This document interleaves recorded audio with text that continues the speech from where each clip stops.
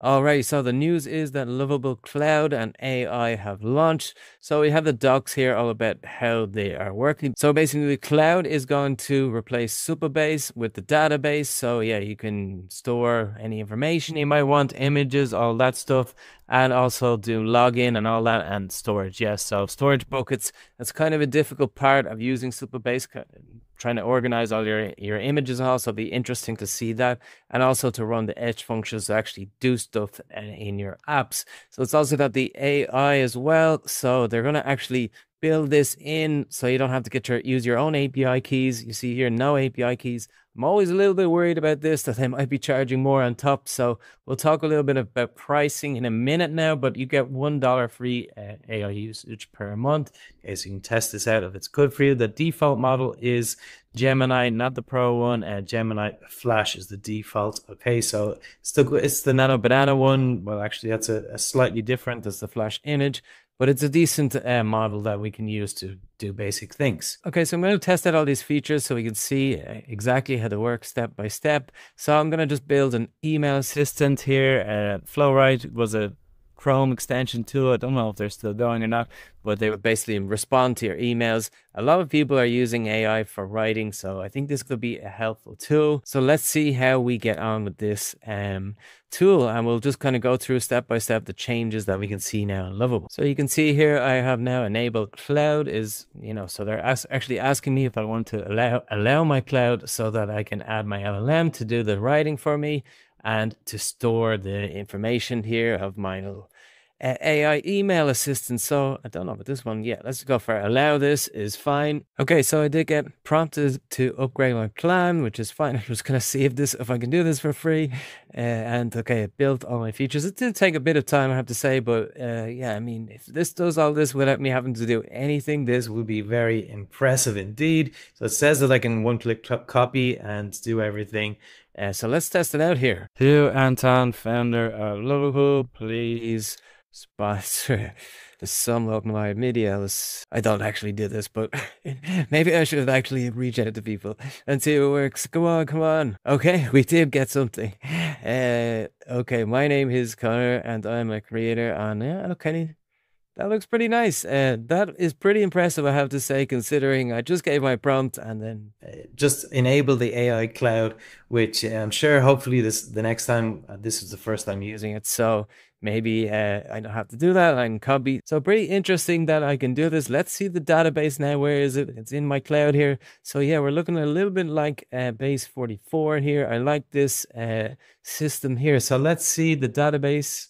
Okay, we don't have any tables, so let's try and work that out. I don't have many credits left. Let's see if I can do it. Can you store my emails in the database. Probably should have said generated emails, but let's see if it knows what I'm talking about. Okay, so I got my daily limit. Yeah, I mean, there's not really too many daily limits anymore, especially when doing things like this. But okay, let's upgrade for this uh, video to actually complete it. So one thing I do like is that they have this allow here. So they go off and kind of do the idea of what it is that we should do and then you know you can improve it or not or allow the database or not depends on what you want to do if it's doing the right thing. I, I really like that. So it's actually done my database now since the table uses row level security.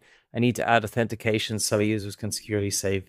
Okay that's great. Okay interesting now it added the auth. Yeah i suppose like that's something to think about there because you know i didn't really want the auth. This was just for me so i mean it's good to test that for this video but now we have an error so let's try and fix that hopefully, I think nowadays the apps are really going to, you know, go back and forth. You know, if you see like Replit, for example, it takes screenshots of the app, um, what's happening, and then goes to tries to fix it. Emergent is another one that does that really well. So, I mean, this is great that AI was going to fix my app uh, without me having to do anything. I'm not complaining with that, but I think there are other tools that are using this in a great way that kind of errors. So that's something to think about. Okay, so while that's fixing, let's uh, think a little bit more about the price and actually why, if this is good or bad for you, possibly. So for me, I really like that all of this is built in. I hated going into There's so much to learn. I mean, about these edge functions and the storage and how to match it all up and map it all out. It was quite a pain, a lot of work. So I really like this. The lovable AI, I'm a little bit uh, worried about the pricing, but I mean, it does make things simple. So that is Lovable's mission. So I really uh, like they're going for the mission, making the last piece of software. So yeah, I mean, this is great, but let's have a look at the pricing. So you can only add funds if you have on a paid plan. So if you do want to use the AI tools, the built-in ones, then you're going to have to add have a paid plan. Okay, that's kind of definitely going to happen. Okay, so the pricing is going to get a bit more confusing. I think is that uh, it was we've our cloud cost, our subscription then we've our cloud and our AI costs. So yeah, this is getting a bit more confusing. So they do have uh, different complete controls. So you have like zero charges, like you just stay on the free allowance. Seems like the free allowance is just one dollar a month of free, twenty-five dollars of cloud usage, and one dollar a month of free AI usage. So I think that's actually quite a lot of of free cloud usage. One dollar a month doesn't sound like a lot, but seems let's find out how much that actually is. Okay, so for our email tool, for example, for one dollar, you get uh, output cost to generate email. So the input, the prompt request going to the API and then coming back is the 40 cent per 1 million tokens. So seems like it's quite good. Hey, for one dollar output only, we get 6,000, let's say 300 words.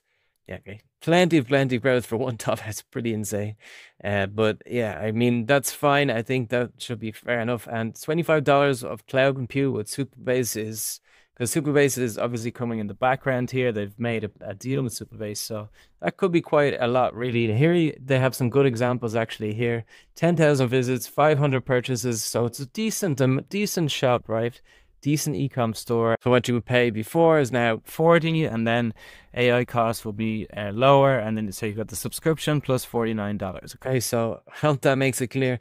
It is a little bit uh, difficult to understand all these pricings, but yeah, I mean, that's gonna be the, just let's get there. I mean, if you've got an e-com st- store with 500 purchases, you're not really gonna care about $49 a ping. All right, so we did get authentication, got a couple of errors, restored, start again. That's fine. That's the way I do it. Okay, let's try another email and see if it stores in our database. See how that works. As I to YouTube, please give me AI clipping pillows. Here, got my email.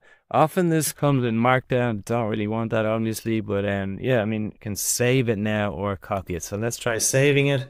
And my email has been saved to my collection. Let's go to the cloud to see it in my database. Generate emails. Okay, and I have my email. This is like what Supabase looks like, but I have it all here. So I have to go into Supabase, the ID and my user ID of my account and my original note. Okay, so pretty cool. Oh, you can create templates too. Nice. So you can now have your users, right?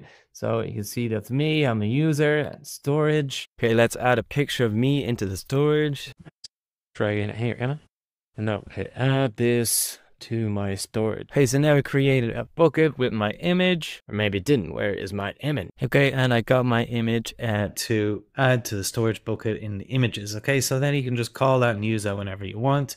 The other one is the edge functions, right? So we actually have one done. So this is basically the code to add to make the function, right? And then to actually go into Supabase and to create the email, to generate the email, right? And the secrets is just where you need to save your API key. So you'll have like OpenAI underscore API underscore key. It'll probably show you here and give you a prompt.